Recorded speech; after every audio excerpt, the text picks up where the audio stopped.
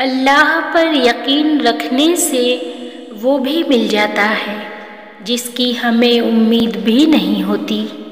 हर हाल में अल्हम्दुलिल्लाह कहा करो, क्योंकि अल्हम्दुलिल्लाह में सब्र भी आता है और शुक्र भी। सुकून तो सिर्फ़ अल्लाह की इबादत में है। कितनी भी मुश्किलें हों, लेकिन बहुत कुछ है शुक्र करने के लिए।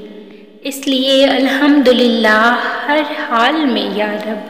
सब्र की दो सूरतें हैं, एक जो नापसंद हो, उसको बर्दाश्त करना, और जो पसंद हो, उसका इंतज़ार करना। ए अल्लाह, मुझे हर उस चीज़ की तौफीक दे, जिससे तू पसंद करे। गम न करना कि दुनिया आपके साथ नहीं, बल्कि खुश होना। कि दुनिया का मालिक आपके साथ है। मिलना है अगर खुदा से, मुसल्ला बिछा कर देख। मिलता है क्या नमाज़ में, सजदे में जा कर देख। या रब, तू मेरी उम्मीद नहीं, मेरा यकीन है। ये एहसास भी बड़ा सुकून देता है।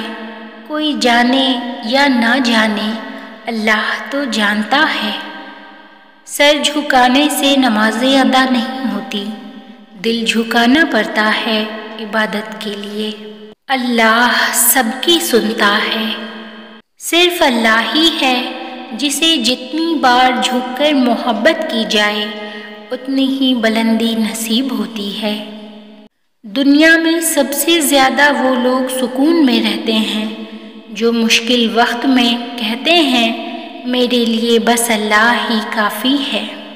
दिल जिस बात पर ज़िद करता है, रब उसी बात पर आजमाता है।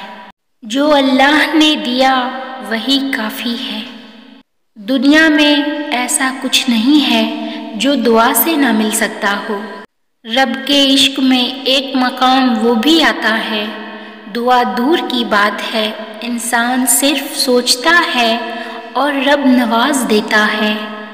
दिल जब रब की याद में रोता है, तभी तो वो सुकून में होता है। सिर्फ़ अल्लाह ताला की ज़ात है, जो मुआफ़ी मांगने पर ये नहीं पूछता कि गलती क्यों की थी।